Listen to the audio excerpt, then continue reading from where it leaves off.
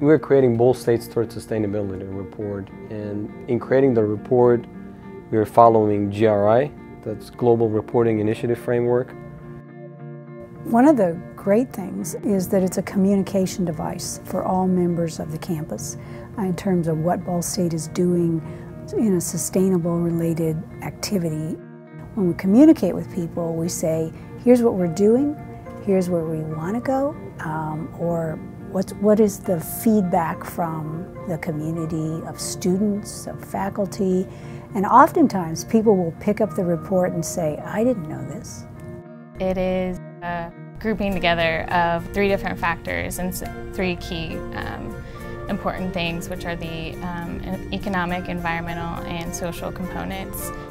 We contact various people throughout the university to get information that may not necessarily be on the website about carbon emissions, impacts on local communities, water usage.